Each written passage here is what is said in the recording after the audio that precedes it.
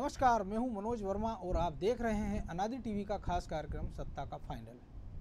पाँच अगस्त, जी हाँ ये वो तारीख है जो भारत के इतिहास में हमेशा के लिए अजर अमर होने वाली है। इस दिन अयोध्या में भगवान राम के भव्य मंदिर निर्माण का शिलान्यास होगा।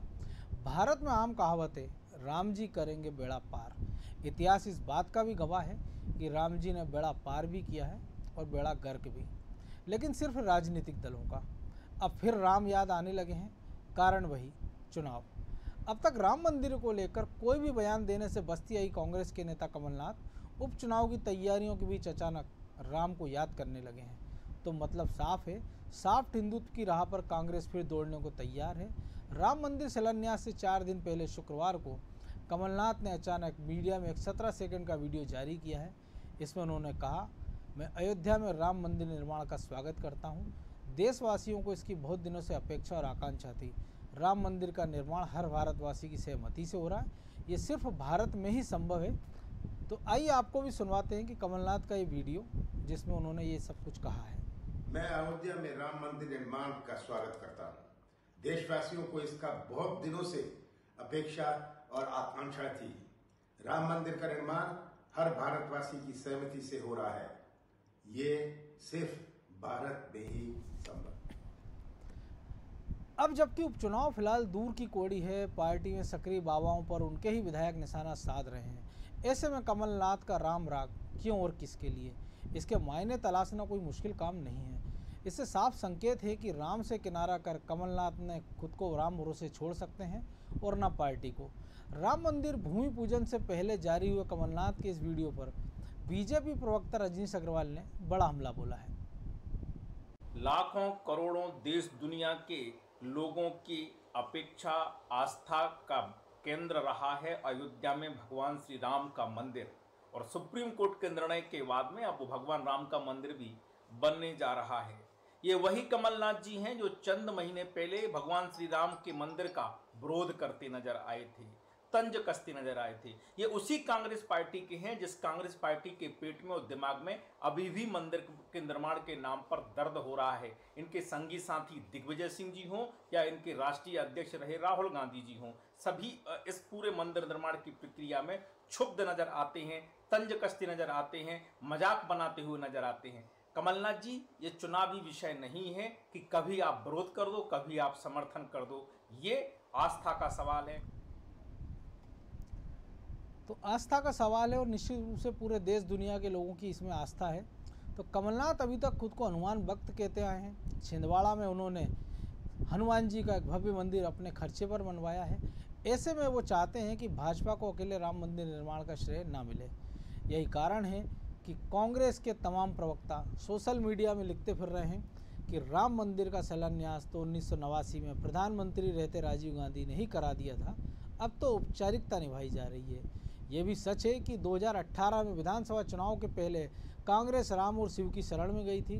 दिग्विजय सिंह ने संघर्ष से पंगत की शुरुआत ओरछा में राम राजा के दर्शन के बाद की थी।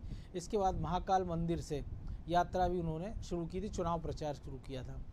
राम वन पथगमन की योजना भी कांग्रेस ने बनाई थी, लेकिन परवान नहीं चढ़ी और हर गाँव में गौशाला के निर्माण का शिगुखा भी काम नहीं आया। इक्का दुक्का गौशालाएँ बनी, लेकिन वो ऐसी नहीं बनी जैसा कि कांग्रेस ने अपने घोषणा पत्र में वादा किया था। ऐसे में कांग्रेस भी जानती है कि वो पुराने मुद्दों को लेकर जनता के बीच जाएगी तो सवाल तो उनसे भी पूछे जाएँगे।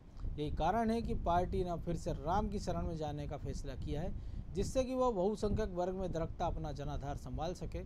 अब राम जी किसका बेड़ा पार करेंगे, ये तो राम जी जाने, लेकिन जानने वाले तो यही कह रहे हैं कि राम नाम की लूट अब किसी के काम आने वाली है नहीं।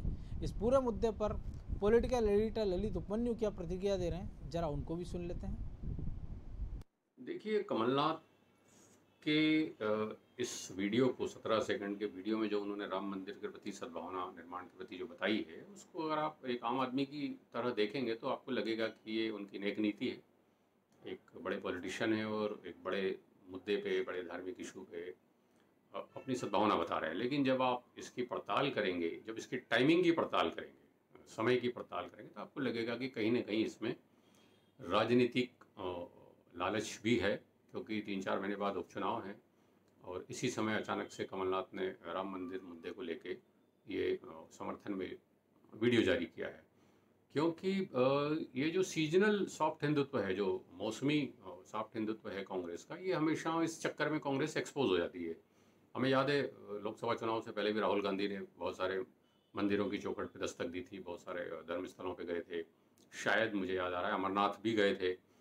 तो तब भी ये कहा जाने लगा था कि साहब, अब ये सॉफ्ट हिंदुत्व की मार्ग पे कांग्रेस चल रही है और उसके बाद न मार्ग दिखाना हिंदुत्व दिखा कांग्रेस का। और फिर चुनाव आए हैं और फिर कांग्रेस ने एमपी में जो चुनाव है उसके लिए फिर वही राम मंदिर का राग अलापा है। तो इसको कहीं ना कहीं राजनीति से भी जोड़ा जाएगा, चाहे बीजेपी जोड़े, चाहे मतदाता जोड़े।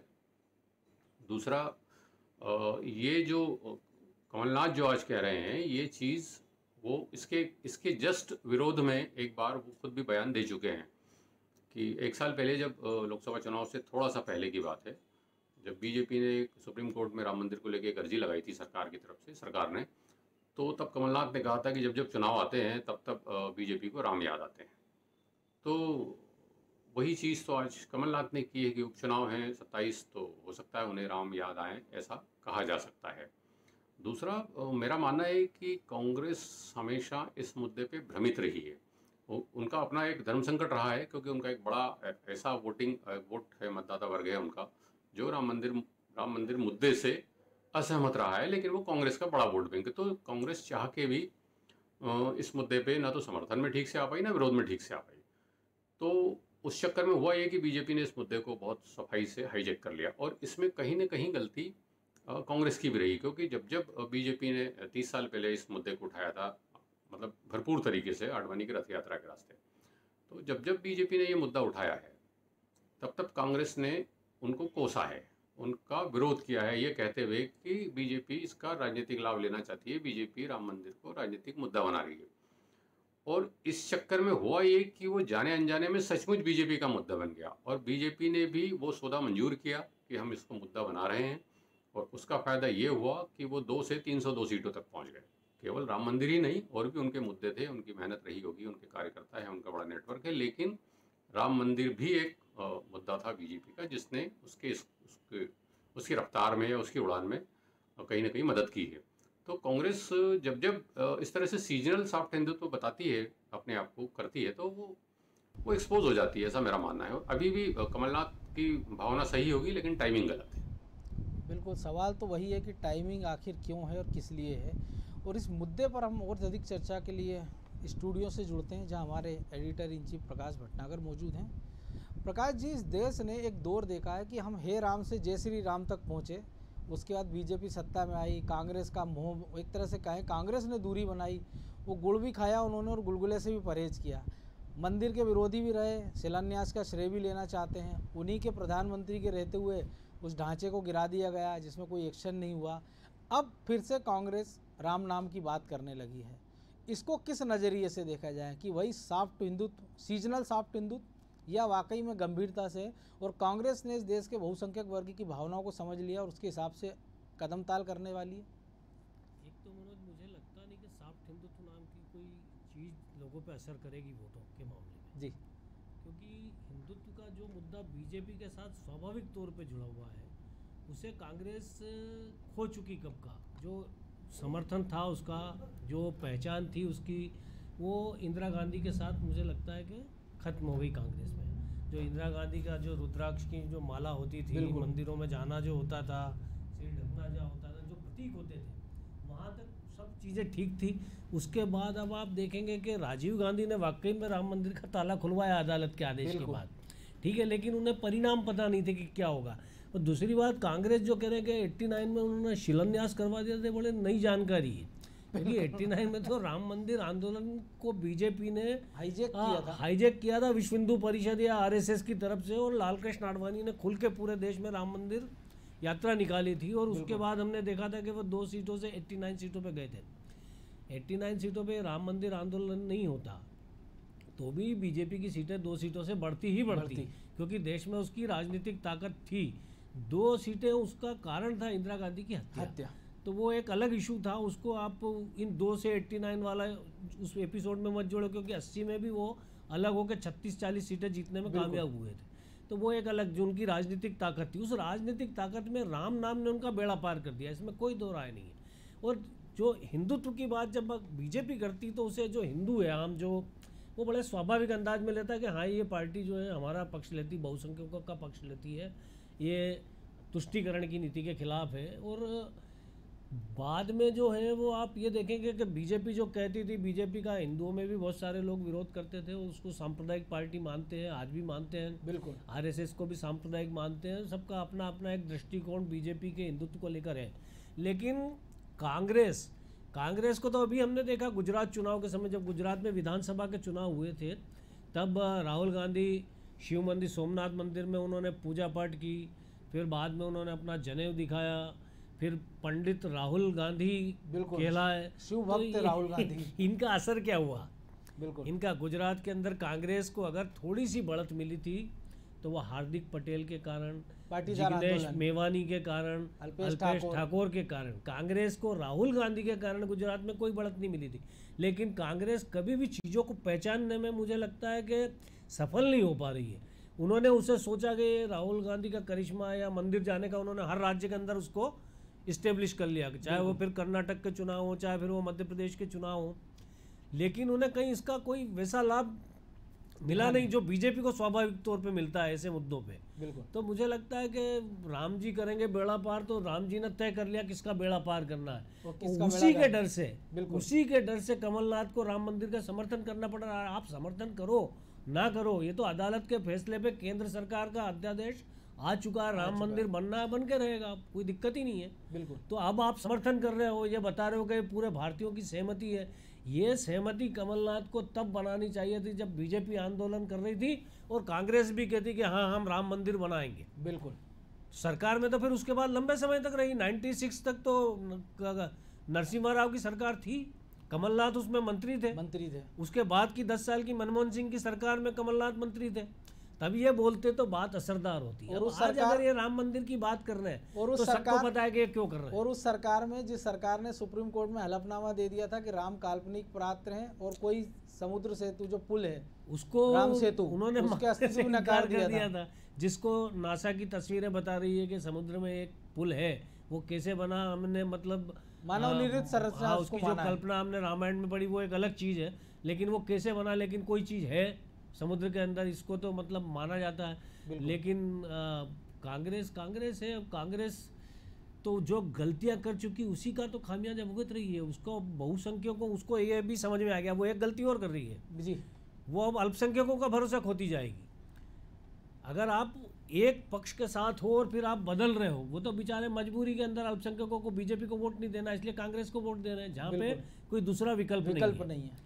तो ये तो कमलनाथ हमने बिहार, यूपी में देखा। हाँ इसका सत्ताईस चुनावों में कोई राम मंदिर का कोई फ़ायदा राम मंदिर का समर्थन करने का कोई फ़ायदा और अभी तो चुनाव कब है यही पता नहीं है कि वो तीन महीने बाद है कि चार महीने बाद है पता नहीं क्यों कमलनाथ को कि, किसने सलाह दी उन्होंने बोला अच्छी बात है राम मंदिर का समर्थन किया अपनी भावनाएँ बताई इसका स्वागत किया जाना चाहिए देर आए दुरुस्त उसमें क्या बुराई है लेकिन उनकी पार्टी में इसका स्वागत होगा क्योंकि दिग्विजय सिंह लगातार सवाल उठाते रहे हैं उनके जो गुरु हैं स्व- स्वरूपानंद सरस्वती वो मुहूर्त को लेके सवाल उठाते हैं। हाँ, वो शंकराचार्य जी जो है स्वरूपानंद सरस्वती तो कांग्रेस समर्थक ही माने जाते हैं उनके ऊपर एक तरह से ये ठप्पा ही है। जी। और दिग्विजय सिंह जी उनके शिष्य हैं कांग्रेस में कई सारे नेता उनके शिष्य हैं। तो मुझे लगता है कि जो उन्होंने मुहूर्त पे सवाल उठाया अभी दिग्विजय सिंह क्या सवाल उठाएँगे ये बिहाल भविष्य के गर्त में अभी तक उन्होंने कुछ बोला नहीं है राम मंदिर निर्माण को लेकर। अभी तक वो राफेल पर ही अभी अभी उन्होंने राफेल के ऊपर बहुत लंबे समय बाद जिस पे राहुल गांधी ने इस बार सवाल नहीं उठाया बिल्कुल। उस पे जो है दिग्विजय सिंह ने सवाल उठाए वही पुराने। कि हम इतने भाई आपने तो उसको सौदे को निरस्त कर दिया था 126 सौदों की बात करी थी तो किसी नतीजे पे नहीं पहुँच पाए थे। बिल्कुल। ये देश की ज़रूरत थी इस सरकार ने कर दिया। इसके ऊपर जो भी आपने आरोप लगाए थे, वो कोर्ट से लेकर सारी चीज़ें हो गई। कोर्ट के अंदर सारे कागजात पेश हो गए, ये सारे देश ने देखा। और उसके बाद बहुमत पिछली बार से ज़्यादा अगर नरेंद्र मोदी लेके आए तो इन सवालों का कोई मतलब नहीं है। तो ऐसा कोई दम दिखा पाएँगे? आपको लगता है कि आप राम मंदिर की बात कर रहे हैं कमलनाथ कि? जैसे हमने उद्धव ठाकरे को देखा था कि वो सपरिवार जाते हैं सुप्रीम कोर्ट के फैसले के पहले, उसके बाद जब वो कांग्रेस और एनसीपी के साथ सरकार बना लेते हैं, तब वो कहते हैं कि मैं अयोध्या जाऊँगा। लेकिन वो साहस कमलनाथ नहीं दिखा पाए राम बनपत गमन एक बड़ा ड्रीम प्रोजेक्ट था।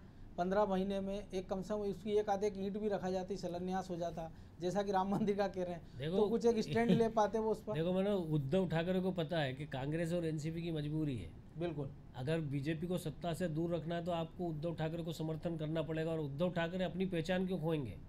बिल्कुल। वो तो बीजेपी से ज़्यादा कट्टर हिंदुत्व का दावा करते हैं। वो तो कहते हैं कि बाबरी मस्जिद हमने गिराई। वो मस्जिद का जो विवादित ढांचा था वो हमने हमने गिराया। गिराया। वो तो इस तरह की बातें करते हैं तो वो अपनी पहचान क्यों खोएँगे? आपको सरकार को समर्थन देना हो तो दो ना देना हो तो मत दो। इस मुद्दे पे वो कम से कम बिल्कुल भी पीछे नहीं हटेंगे और इनको समर्थन देना मजबूरी है। अब कांग्रेस की आप देखो दुविधा कैसी है। मतलब अब इस समय तो खैर कांग्रेस राम मंदिर का कोई विरोध कर भी नहीं रही है। और चूँकि उसने भी मतलब कोर्ट के फैसले को स्वीकार कर लिया है अब हाँ। वो इतना ही कर सकते हैं जैसे ओवैसी जहाँ ने वो बढ़त ले सकते थे जहाँ वो बढ़त ले सकते थे उस बढ़त को कांग्रेस ने खो दिया बिल्कुल तो अब वो कोई इशू नहीं है लेकिन मध्य प्रदेश के उपचुनाव में राम मंदिर का कोई इशू होगा अब ये इशू चुनाव तौर पे बीजेपी के खाते में श्रेय जा चुका है नरेंद्र मोदी की सरकार के खाते में श्रेय चला गया। जिन मुद्दों को का बीजेपी के कोर मुद्दे माना जाता था उसमें सबसे बड़ा मुद्दा राम मंदिर था। धारा 370 थी। दो ऐसे बड़े इशू थे जिनको लेकर बीजेपी लंबे समय से। बिल्कुल। और दोनों ही मामले में उसका जो समर्थक वर्ग है मुझे लगता है कि अब संतुष्ट है। संतुष्ट है। प्रभु पटेरिया जी हमारे पॉलिटिकल एडिटर हमारे साथ जुड़ गए फ़ोन लाइन पे, उनसे भी समझ लेते हैं। प्रभु जी, जिस प्रकार से राम याद आए हैं, अचानक से कमलनाथ तो एक छोटा सा वीडियो वायरल करते हैं, जिसमें कहा जाता है कि राम मंदिर के समर्थन इस देश की आकांक्षा का प्रतीक है और इसका निर्माण होना चाहिए। लेकिन ये जो टाइमिंग है, और ऐसे समय कि जब कांग्रेस ये तंज कसती थी, अब से कुछ महीनों पहले तक, कि बीजेपी ये कहती है कि हम मंदिर वहीं मनाएँगे, लेकिन तारीख नहीं बताएँगे। अब तो तारीख भी बता दी है कि पाँच अगस्त वो दिन है, जिस दिन शिलान्यास होना है। उसके पहले समर्थन क्या बताता है कि राम मंदिर के लिए वाकई एक शुभकामना संदेश इसको लिया जाए या उपचुनाव के मद्देनज़र इसको कोई एक संदेश छिपा है इसमें या एक कांग्रेस के समझ में आ गया कि अब बहुसंख्यक वर्ग से जुड़े जो कोर इशू हैं उनमें उसके खिलाफ जाना पार्टी के लिए हानिकारक साबित हो सकता है।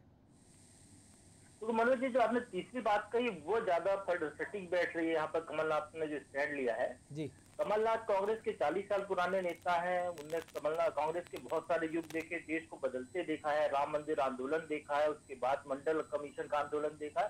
तो तमाम चीज़ें जो बदलाव देश के देखे हैं, वो तो मान चुके हैं चुके हैं कि देश की एक धारा एक बहुसंख्यक वर्ग है और देश की एक जो आवाज़ स्वतः जो जा रही है, वो राम मंदिर के समर्थन में जा रही है। राम के खिलाफ यदि आप जाएँगे तो आपका वजूद खत्म हो जाएगा।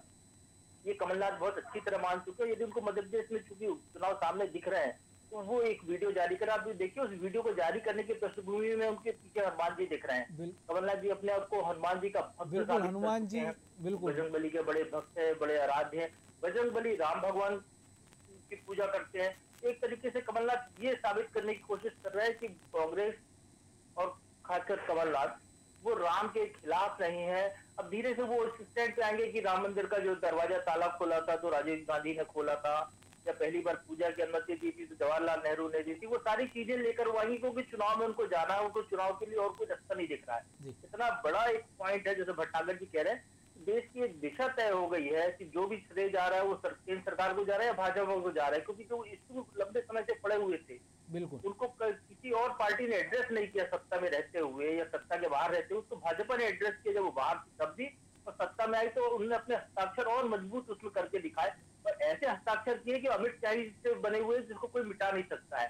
तो ये मजबूरी हो गई कमलनाथ की कि उनको राम का नाम ले। सबसे बड़ी बात है उनका वीडियो एक भाजपा की जो प्रवक्ता है रजनीश अग्रवाल उनने एक ट्वीट किया मैंने वो देखा है। जी। कमलनाथ का वो वीडियो कई बार में शूट हुआ है शायद वो ये पहली बार में पूरी ढंग से अपनी बात कह भी नहीं पाए। बिल्कुल संशोधित तो वीडियो कांग्रेस ने जारी किया। ट्वीट किया गया है। है भी नहीं। और वो एक संशोधित वीडियो भी उन्होंने जारी किया। तो प्रकाश जी जैसे अभी जो प्रभु कह रहे हैं कि प्रभु से एक सवाल और पूछ रहा हूँ प्रभु। जी। ये कमलनाथ का जो भी वीडियो सामने आया है इससे कांग्रेस को कितना लाभ होगा? इस चुनाव में क्या कोई लाभ होता दिखता है या इससे कोई उपचुनाव में जो सत्ताईस सीटों पर उपचुनाव होना है उसमें कोई फ़र्क पड़ेगा कांग्रेस के फेवर में? देखिए भटनागर जी राम का मुद्दा कांग्रेस का नहीं है ना कमलनाथ का है। चाहे मध्य प्रदेश के राम और वन गमन पथ को ले लीजिए चाहे सीता माता मंदिर को ले लीजिए श्रीलंका में बनना है। ये दोनों इश्यू भारतीय जनता पार्टी और शिवराज सिंह चौहान की देन है मध्य प्रदेश की हम बात करें। बस राम वन गमन पथ को लेकर शिवराज सिंह चौहान ने एक कमेटी बनाई। स्वर्गीय अनिल माधव दवे का इनिशिएटिव इसमें था। उसको लेकर पूरी तैयारियाँ शुरू हुई। राम वन गमन का निर्माण कार्य शुरू होने की प्रक्रिया हुई थी तब तक ये सरकार जो है बदल गई कुछ डिले कर दिया उन्होंने उसको। उसके बाद इसी तरह से सीता माता मंदिर का जो इशू है उसको लेकर दस करोड़ रुपए तत्कालीन शिवराज सरकार ने मंजूर किए थे। काम शुरू नहीं हो पाई ये अलग बात है क्योंकि दो देशों के बीच का मामला है जिसमें राज्य सरकार सीधे श्रीलंका सरकार से डीलिंग नहीं कर सकती। ये तमाम इशू है जो रोड इसमें अटके। यहाँ पर यदि कांग्रेस ये सोच रही है कमलनाथ सोच रहे है कि इसका कोई फ़ायदा उनको मिल जाएगा, यदि राम साहू आज नाम लेते हैं तो इसका कोई फ़ायदा कांग्रेस को मिलता हुआ तो मध्य प्रदेश में नज़र नहीं आता है। पूरा की पूरे बीजेपी खाते में जाएगा तो बीजेपी के खाते में ही जाता हुआ दिखाई दे रहा है। भटनागर जी, एक और चीज़ समझना चाहेंगे दर्शकों के लिए, जैसे प्रभु जी ने भी जो चीज़ कही थी कि कांग्रेस ये कहेगी कि ठीक है, मंदिर, पूजा की अनुमति नेहरू जी ने दिलाई या ताले राजीव गांधी ने, लेकिन वो एक स्टैंड में कायम नहीं रहे, क्योंकि ये सबको पता है कि मंदिर खुलवाने के चक्कर बाद में शाहबानो प्रकरण हुआ, जिसमें उन्होंने बहुसंख्यक वर्ग को नाराज़ किया मामला वापस लेके। इसके बाद मंदिर खुलवाया तो अल्पसंख्यकों को नाराज़ कर दिया और दोनों ऐसे नाराज़ हुए कि उत्तर प्रदेश से जय राम जी कर दिया जनता ने उनको रास्ता को वापसी नहीं कर पाए। शाह मानो प्रकरण से बहुसंख्यकों के नाराज़ होने वाली कोई बात नहीं थी। ये तो मुस्लिम महिलाओं पे अत्याचार था जिसे कांग्रेस ने एक्सेप्ट कर लिया। बिल्कुल। कि कोर्ट के ने फैसला दिया था शाह मानो के प्रकरण में जो गुजारे भत्ते वाला इशू था जो तीन तलाक वहीं से तो तीन तलाक का इशू पैदा हुआ। पैदा हुआ। इसका श्रेय भी बीजेपी ने लिया। बिल्कुल। निश्चित तौर पे जो मुस्लिम महिलाएँ तीन तलाक के उससे प्रभावित हैं वो तो नरेंद्र मोदी को दुआ देंगी। अगर किसी का फिर दूसरी बात कि अब आपने इसको कोर्ट तक पहुँचा दिया यानी कि अगर आप एक बार आपकी शादी हो गई तो अब तीन तलाक से नहीं टूटेगी वहाँ कोर्ट में जाना पड़ेगा आपको। तो कोर्ट में हिंदुओं के अंदर भी विवाह विच्छेद जो होता है वो कोर्ट में जाके होता है। ऐसा नहीं हो जाता कि कोई पंडित या किसी मंदिर में जाके आप कह दो कि भाई तलाक तलाक तो उस तरह से हो जाएगा। तो ये भी श्रेय कौन ले गया? बीजेपी ले गई नरेंद्र सिंह नरेंद्र मोदी ले गए। बिल्कुल। तो आप इससे ताजुब लगाओ कि कांग्रेस भटकी भी कितनी है। अगर मध्य प्रदेश में आप अभी राम मंदिर की बात छोड़ो। देखो राम मंदिर का ये जो सत्ताईस उपचुनाव है इसमें क्या असर होगा नहीं होगा ये कोई बहुत बड़ा इशू नहीं ना बीजेपी से इशू बना रही है क्योंकि मंदिर बनता तो दिख रहा है। पाँच जून को हो जाएगा। चुनाव होंगे चार महीने बाद। तो कांग्रेस को तो चाहिए कि अगर उसने किसानों के कर्ज माफ़ी के इशू पे ईमानदारी से पंद्रह महीनों में कोई काम किया है उसका कोई असर है तो उस उसी पे कांग्रेस को आगे जाना चाहिए। बिजली के बिलों का जो सौ रुपए वाली बात आपने कही थी उस इशू पर जाना चाहिए कि वो शिवराज सरकार में है या नहीं है। कांग्रेस को तो पता ही नहीं चल रहा है कि उन्हें किन मुद्दों पर चुनाव लड़ना है। मैंने मतलब बड़ी ताज्जुब की बात है कि चुनाव जब भी होगा वो कमलनाथ बैठ के कर रहे हैं उन बैठकों में होता क्या है? किस चीज़ पे कांग्रेस में विचार विमर्श होता है ये मुझे समझ में नहीं आया। कि आप चुनाव लड़ने चुनाव में जाना है कोई आपका मुद्दा नहीं है। फिर दूसरी बात कि आपने तय किया कि लीडरशिप हमें मतलब रोज़ नई बातें आ रही है। कभी नकुलनाथ नेतृत्व का दावा कर रहे हैं कभी जयवर्धन सिंह का वीडियो वायरल हो रहा है। कमलनाथ को नेतृत्व करना है जयवर्धन सिंह को नेतृत्व करना है जीतू पटवारी को करना अरे कुछ तो तय करो चुनाव में जाने से पहले। वो सब कांग्रेस नहीं कर रही। कांग्रेस कुछ तो भी कर रही है। प्रभु जी जैसा भटनागर जी भी कह रहे हैं और कांग्रेस को एक स्टैंड नहीं ले पा रही। जैसे हमने देखा था कि मोदी का एक छवि हमने देखी थी। कि जब उनको टोपी पहनाने की कोशिश की गई थी उन्होंने दृढ़ता से इनकार कर दिया था। मनोज एक सेकंड में आपको रोकूँगा एक सेकंड में रोकता हूँ आपको। अभी पिछली बार जब प्रधानमंत्री ने संबोधन किया देश के नाम ये कोरोना को लेके बिल्कुल। तो उन्होंने टोटल लाइन से त्योहार गिनाए गए। अभी निकट भविष्य में कौन से त्योहार आ रहे रक्षाबंधन मुझे शायद पहली बार कोई प्रधानमंत्री हिंदुस्तान का होगा जिसने लगातार हिंदुओं के त्योहारों के ज़िक्र किया। बिल्कुल। उसमें ईद भी पड़ रही है लेकिन नरेंद्र मोदी ने ईद का ज़िक्र नहीं किया। जी प्रभु जी ये क्या इसकी आप आलोचना कर लो भले चाहो तो। लेकिन ये दम कैसे आया? इसीलिए आया क्योंकि बहुसंख्यक आपके पीछे खड़ा है। बिल्कुल। और एक और बदलाव हुआ कि जो रोजा अवतार पार्टियाँ थी वो बंद हो बंद हो गई। प्रभु जी इसको कैसे देखते हैं आप कि कांग्रेस को स्टैंड नहीं ले पा रही है? ना वो अल्पसंख्यकों के पक्ष में जाती दिखती है ना वो बहुसंख्यकों के किसी एक में जाती है तो दूसरे को नाराज़ कर देती है। बिल्कुल मनोज जी कांग्रेस डावाडोर की स्थिति में शुरू से रही है।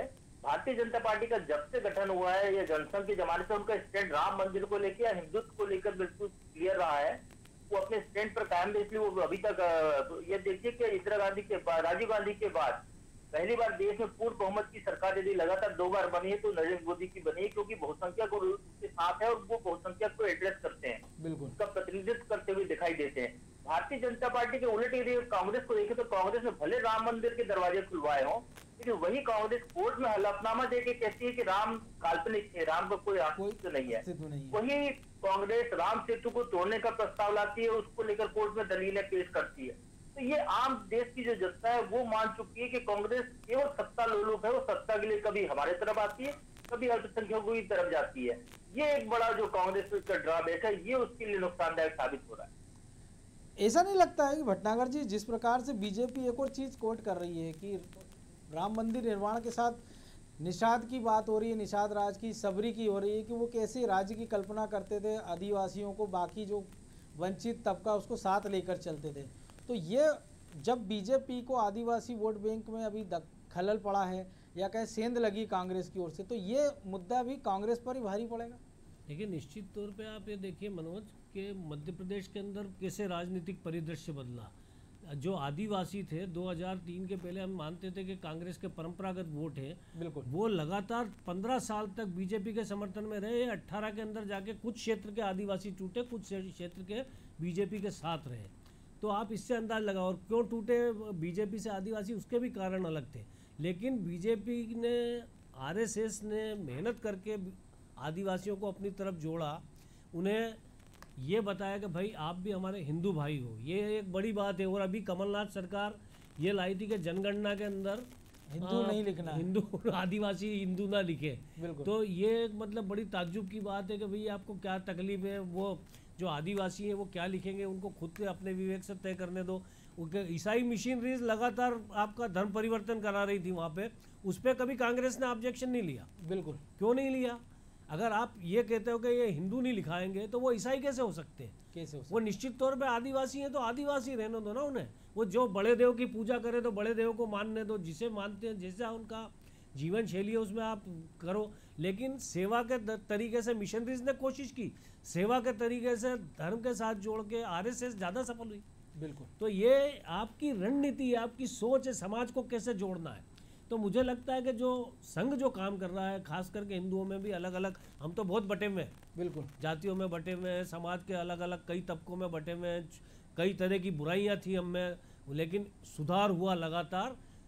जो भी समाज सुधारक थे उन्होंने किसी भी चीज़ का हिंदुओं में कोई बहुत ज़्यादा विरोध नहीं होता। नहीं होता। उसको वो आराम से एक्सेप्ट करते हैं और परंपराएँ बदलती चली जा रही है। तो अगर बीजेपी तो सीधी राजनीतिक दल है लेकिन आरएसएस ये सब काम कर रही है। वो सामाजिक समृद्धता का संदेश देते हैं वो दलितों को अपने साथ जोड़ने की कोशिश कर रहे हैं वो आदिवासियों को तो आप देखो ना पूरे देश के अंदर कांग्रेस का जो समर्थक वर्ग था परंपरागत सब जगह से हट गया। अल्पसंख्यक सिर्फ़ वहाँ वोट दे रहा जहाँ कोई और विकल्प नहीं है। बिल्कुल। नहीं तो वहाँ भी वो कांग्रेस को पसंद नहीं कर रहा तो कांग्रेस तो सब जगह से भरोसा खो चुकी बिल्कुल बड़ी बात है। बहरहाल अब समय और इजाज़त नहीं देता तो इस चर्चा को यहीं विराम देते हैं। बहुत धन्यवाद प्रभु जी और प्रकाश जी आपका। कि आपने विस्तार से बताया कि कांग्रेस की क्या रणनीति है और क्या क्या होना चाहिए और संघ परिवार किस तरीके से काम कर रहा है? लेकिन ये भी ज़रूरी है कि इस देश में हमने वो दौर देखा जैसे हमने शुरुआत में कहा था कि जब महात्मा गांधी की हत्या हुई है राम से लेके जय श्री राम, अस्सी के दशक और नब्बे के दशक में ये नारा गूंजा, देश की राजनीति में 360 डिग्री का बदलाव आया। मंडल के जवाब में कमंडल आया कई सारे बदलाव हुए, लेकिन आखिरकार जो बीजेपी ने अपना कोर एजेंडा जिन चीज़ों को बना रखा था, चाहे वो धारा 370 हो, तीन तलाक हो, या अब राम मंदिर का निर्माण, जिसकी राह सुप्रीम कोर्ट ने खोली और जिसका लगभग समर्थन देश के, दुनिया के, सभी वर्ग के लोग कर रहे हैं। कुछ एक विरोध के स्वर उठे भी हैं, लेकिन जो कुछ समर्थन हो रहा है उसकी टाइमिंग को लेकर भी ज़रूर सवाल है। तो वैसे में देखना दिलचस्प होगा कि राम जी किसका बेड़ा पार करेंगे। फत्ता का फाइनल में आज इतना ही। मुझे दीजिए इजाज़त और आप देखते रहिए अनादि टीवी। नमस्कार।